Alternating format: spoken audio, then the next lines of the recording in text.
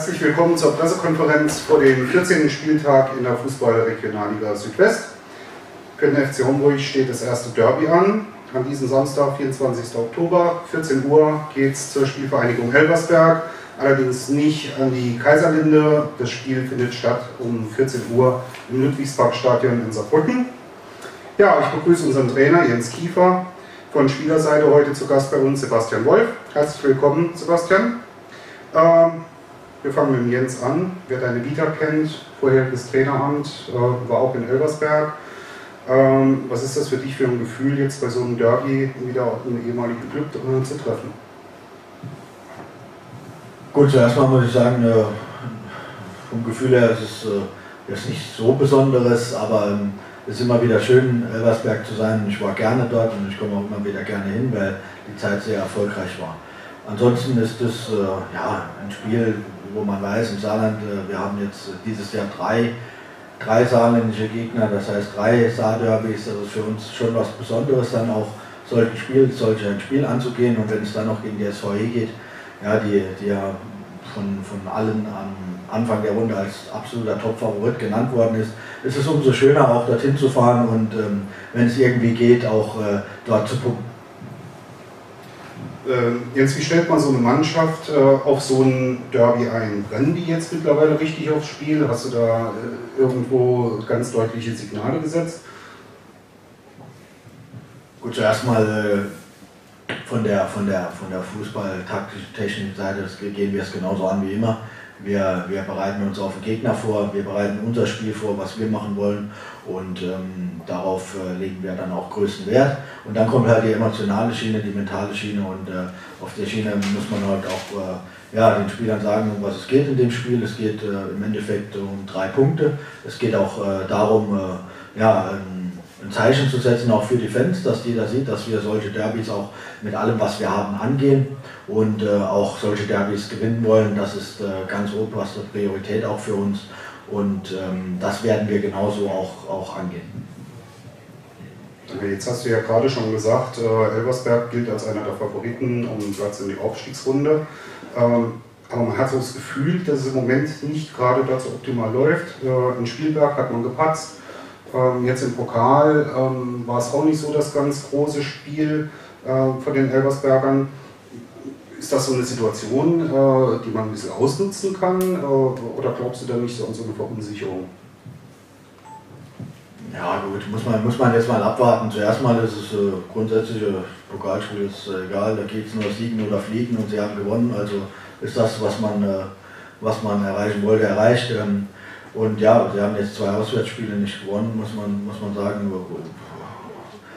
unerwartet nicht gewonnen, aber ich glaube, am Samstag wird es ein völlig anderes Spiel. Es ist nicht irgendwo für die SVW ähm, auswärts auch, ja, es ist im Ludwigspark, das heißt ähm, nicht ihr Stadion, aber trotzdem ein Heimspiel für sie, weil sie doch äh, dort ja auch jetzt gegen Sahne 5 schon gespielt haben. Ist ja nicht das erste Mal, dass sie dort sind. Ähm, Im Endeffekt werden wir versuchen, das Spiel so anzugehen, wie, wie auch gegen jeden anderen Gegner. Und wir wollen die SVE ähm, richtig mächtig ärgern. Das wird unser Ziel am Samstag sein. Wir wollen dort alles das, was wir können, auf dem Platz auch zeigen. Wir wollen ein gutes Spiel liefern. Wir wollen äh, auch Leidenschaft auf den Platz bringen. Wir wollen aggressiv sein, Zweikämpfe annehmen. Wir wollen nach vorne spielen und äh, das werden wir am Samstag alles zeigen. Und dann denke ich, äh, haben wir auch eine gute Chance. Ja, soweit erstmal Dankeschön. Jens, wir haben Sebastian noch da, der soll auch nicht ganz umsonst da sitzen. Ähm, du hast auch deine Erfahrungen in Elversberg gesammelt, warst einige Jahre jetzt dort. Wie ist das dann denn eigentlich jetzt für so einen Spieler? Ist das für dich eine andere Situation? Man trifft den einen oder anderen noch, mit dem man vielleicht gespielt hat, viele sind es nicht mehr.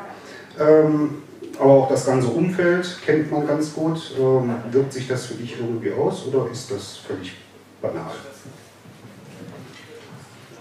Also für mich ist es auch nicht unbedingt äh, ein besonderes Spiel. Also wir haben letztes Jahr auch gegen Elversberg zweimal gespielt und ähm, da war es auch nicht unbedingt besonders. Es ist ein Derby, ähm, das interessant macht auf jeden Fall. Es wird zur Sache gehen und äh, wir freuen uns alle auf das Spiel und ähm, ja, ich war äh, dreieinhalb Jahre dort, war auch eine schöne Zeit. Ich denke auch noch gern dran zurück und ähm, bis auf Marc Groß und Morten Jensen, glaube ich, äh, ja, sind alle neu.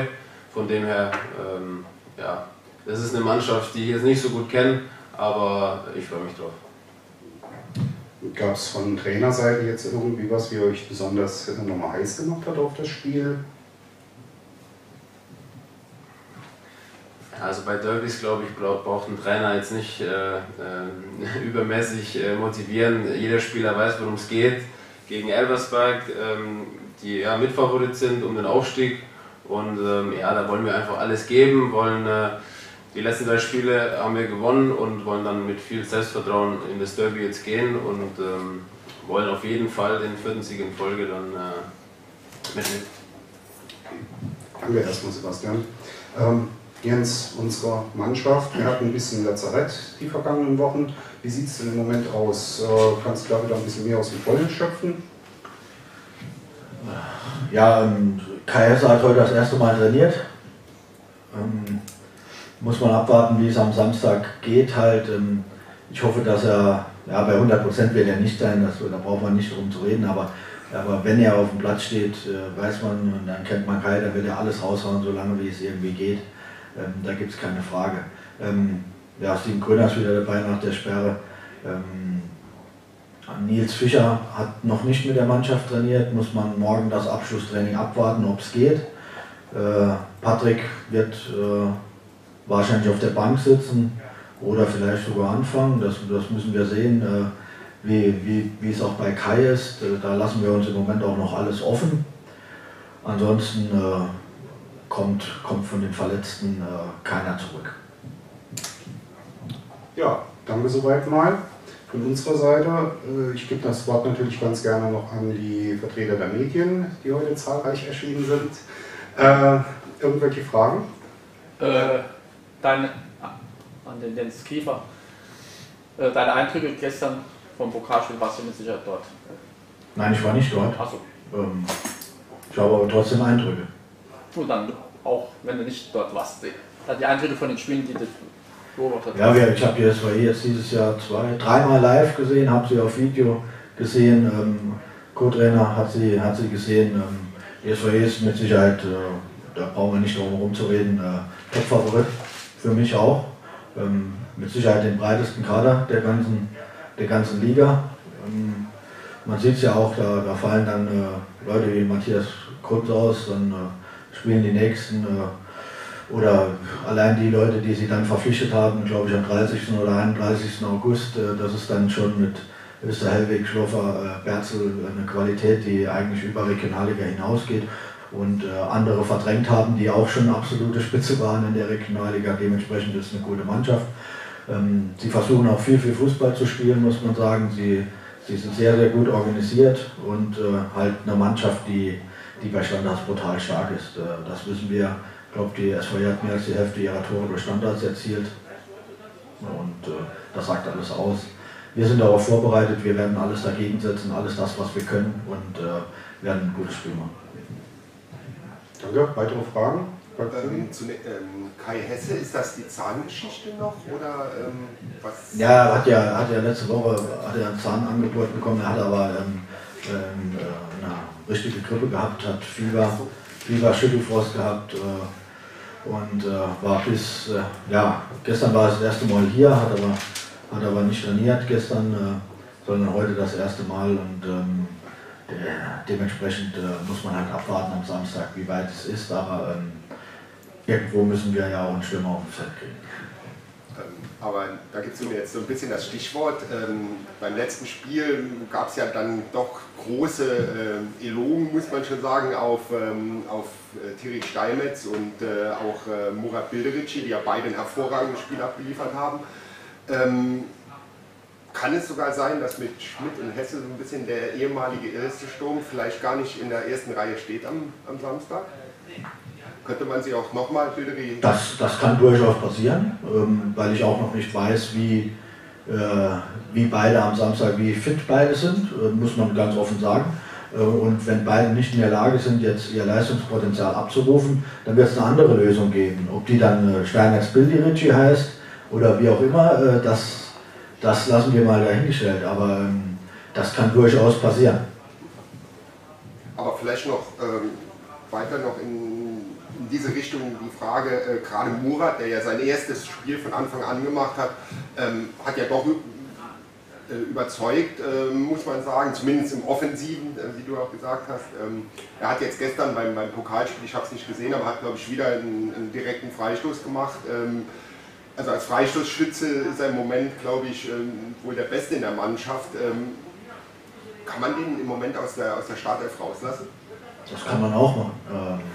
Dann äh, wird, sich, wird es sich entscheiden, äh, was, was erwartet man für ein Spiel gegen Elversberg, ähm, welche Qualitäten braucht man auf dem Platz, ähm, auf welcher Position braucht man die Qualität, wie fit sind andere Spieler, das sind alles Fragen, die man dann äh, entscheiden muss. Und äh, diese Fragen werden wir, glaube ich, im Endeffekt erst vielleicht sogar am Samstagmorgen wissen. Und äh, wenn wir sie dann äh, alle, alle beantworten können, äh, dann wissen wir, äh, ob er spielt oder ob er nicht spielt. Ich, Sie merken, ich will mir auch jetzt nicht äh, da großartig irgend, irgendwas aufdrücken lassen oder in die Karten schauen lassen. Wir haben da mit, mit den Leuten, die, die, die zurückkommen, auch Variationsmöglichkeiten und ähm, man muss einfach auch sehen, ähm, wir werden jetzt nicht nach Elversberg fahren und, äh, und äh, nur sagen, egal was Elversberg macht, wir werden auch schauen, so ein bisschen auf Elversberg schauen. Ich bin kein Freund davon, riesig auf den Gegner zu schauen. Das äh, ist nicht die Art und Weise unseres Spiels oder auch das, was ich will.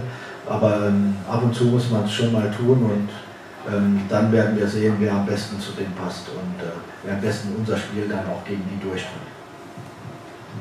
Aber es ist schon eine, gerade im Sturm im Moment eine Situation, die man sich als Trainer eigentlich nur wünschen kann, wenn man vier solche äh, Offensivleute äh, zur, zur, Verfügung hat, wie das im Moment aussieht. Das war nicht immer so. Ja, ja das ist top. Und André Kilian kann ja auch noch, wenn man äh, sieht, er hat ja bis auf den Samstag die, die Position offensiver gespielt, kann ja auch noch dort spielen. Also es ist schon äh, ja, es ist eine schöne Situation. Viel schöner wäre jedoch, äh, wenn, wenn äh, Kai Hesse und Patrick Schmidt vom ersten bis jetzt zum 14. Spieltag immer fit gewesen wären. Wäre mir jetzt noch viel lieber gewesen. Schönes Schlusswort. Fragen? Doch noch eine, ja? Äh, ist es ein Vorteil für den FC Homburg, dass Elversberg doch jetzt erheblich unter Druck steht nach den zwei Auswärtsniederlagen? Das weiß ich nicht, ob es ein Vorteil ist. Ähm, ich glaube, die SVE hat immer noch 29 Punkte das ist, eine, ist ein Top-Wert. Ähm, sie werden nach dem Spiel am Samstag, egal wie es ausgeht, äh, nicht, äh, nicht weg sein vom Fenster, äh, werden aber auch nicht vorne wegmarschieren. Also äh, wir sind jetzt ja, am Samstag das 14. Spiel, das ist, geht noch lange und ähm, überraschend ist halt, wie viele Mannschaften im Moment noch, noch vorne sind mit, mit solcher großen Punktzahl. Das ist vielleicht das Überraschende, das setzt die vielleicht ein wenig unter Druck, äh, wenn man es so sehen will. Ähm, dass sie eigentlich dann, äh, wenn sie, wenn sie nicht punkten, dass sie dann äh, hinter vielleicht zwei, drei Mannschaften zurück sind. Aber ähm, das ist auch der einzige Aspekt, glaube ich. Fragen noch? Ne, dann bedanke ich mich ganz herzlich und beende die Pressekonferenz. Ich wünsche allen einen guten Nachhauseweg und unserem Verein natürlich am Samstag alles, alles Gute. Tschüss, Dankeschön.